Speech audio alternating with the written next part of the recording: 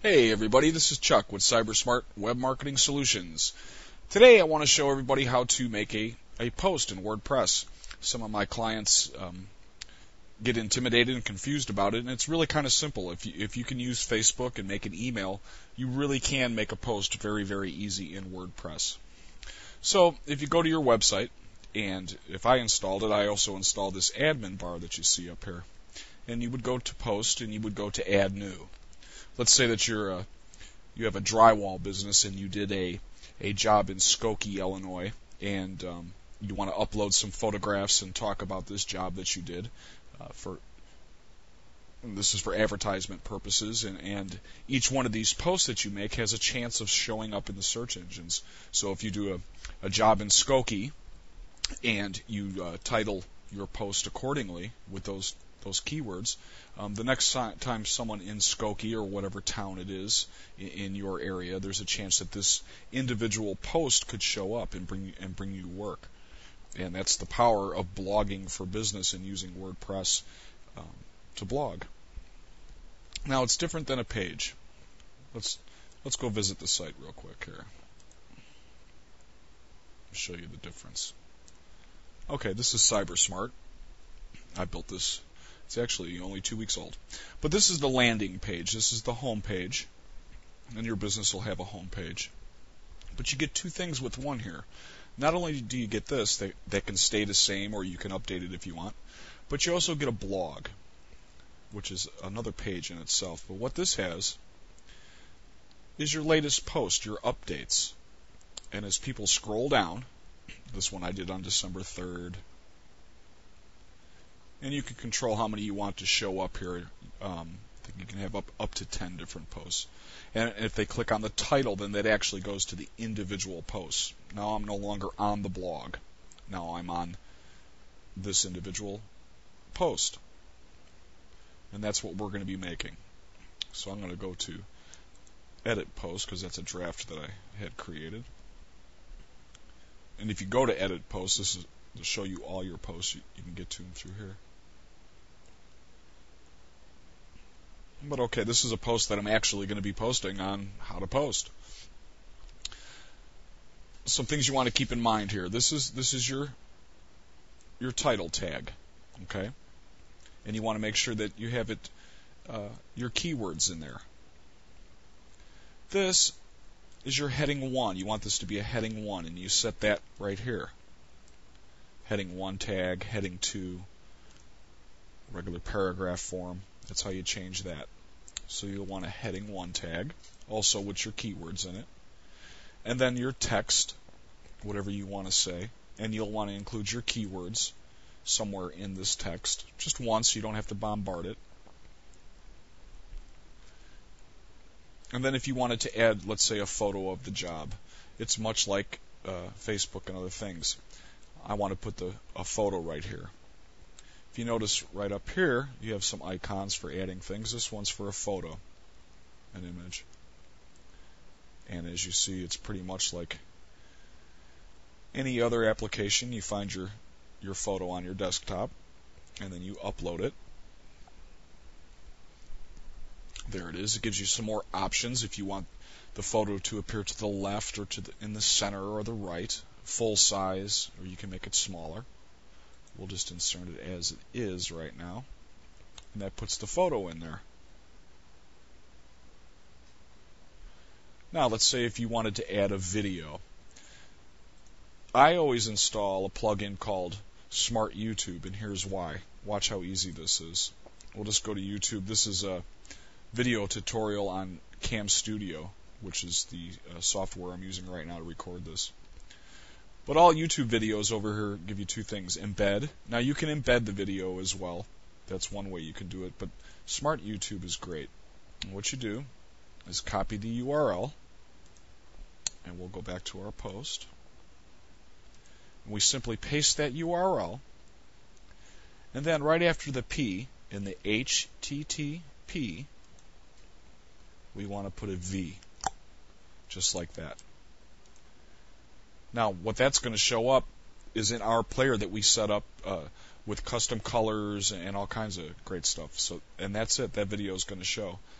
I want this video to show in the middle though and not to the left, so I'm going to use this right here. You can also do that with text. And that's the basics of a post. I mean, you can have uh, a lot of different uh, things in here. You could say a lot more. It's good to have like 350 words is is okay. Um, 750 is is is is the best. And that's the basic format. You can also change colors if you highlight stuff here. Right here is your colors, and you can do more custom colors if you wanted.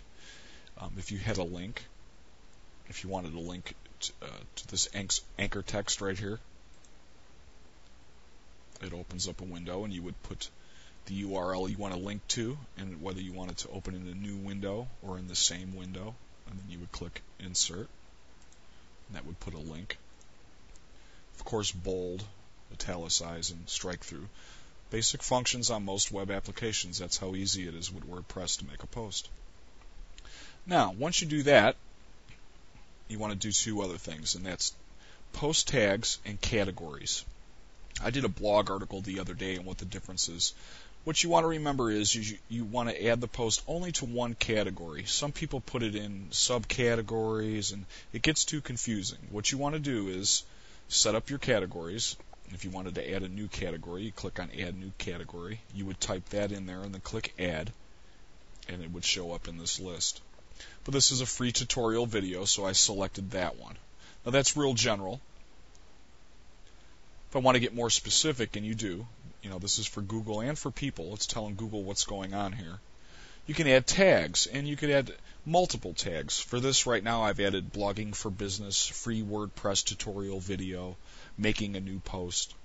If you were doing a drywall in New Lenox, you might want to put New Lenox drywall, installing drywall New Lenox, you know, stuff like that. And you just type it in there and click add. So you want to Make sure you got your post tags, and you want to make sure you put it in a category. Okay? So we got this, your title tag, your heading 1, and if you had more paragraphs with uh, subheadings, they would be in sub uh, heading 2. If you wanted the link, it showed you how to make a link, how to add a video, and how to add a photo. The next thing is a plugin that I installed that's called All-in-One SEO Pack. I did a podcast about this, uh, the top five WordPress plug- plugins the other day, and this is a real important one. What this does is it allows you to do custom SEO, search engine optimization for Google and other search engines, to every single post and every single page um, uh, singularly. And um, that means that you can have different title tags, uh, different keywords, and a different meta tag description for each of your posts and pages, and this this gives you a lot of power. Where this is going to show up, and let me tell you the, what this is actually doing. That is overriding this. See, prior to coming out with that plugin, this was going to be your title tag. Follow my cursor way up here in the left. This is where the title tag shows up when you when you look at websites. It's real important to have this with your keywords in it for Google. Okay. Once you once you put this in here, don't ever change this again because it'll screw up your link. If you need to make adjustments, you're going to make it down here because the all-in-one SEO is going to override that. Okay. So that's the title tag that's going to show up. This is going to show up the, on the Google search results, a short free tutorial video. So you and it's also the meta tag description for Google. So you want to have your keywords here, you want to have your keywords here, and then you also put your keywords in themselves right down here in the space provided for keywords. And you want to put a comma and a space in between each of your keywords for this particular post. So once you have all that done, you can either preview it, you could save it as a draft if you wanted to do some more editing to it later we're going to go ahead and we're going to preview it.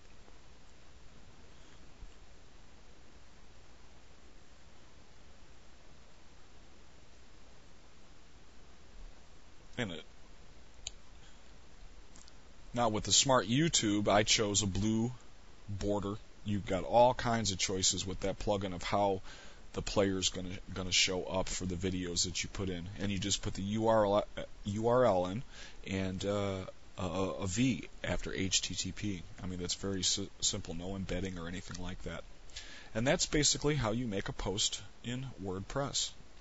Be sure to pick up my RSS feed for more my latest podcasts. And now that this is my first uh, Cam Studio uh, video tutorial, so I'm experimenting with this new software, and I'll be making more of these in, in the future as well. So thanks again.